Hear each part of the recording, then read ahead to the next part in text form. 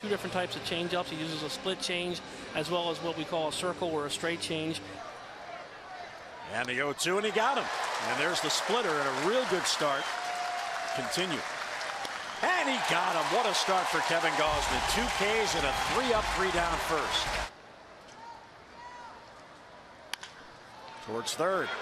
Paredes, second out there, back to first. Double play. 5-4-3 turn, and Gausman gets out of it. Because he's got great arm action on him. Pops it up to center field. That might have been a breaking ball there. Adam Jones back on it, glides to the out. Gotta love the enthusiasm of the fan base that, that folks are doing that as Vargas goes down on strikes. And, and not have that strong personality maybe disrupt that. It took 11 pitches, but Gausman finally gets Arcia. Gives Kevin a couple choices here with different speeds and different locations he can go to. And he got him. So Kevin Gausman has another three up, three down inning. Two and two, second and third, nobody out. And he struck him out.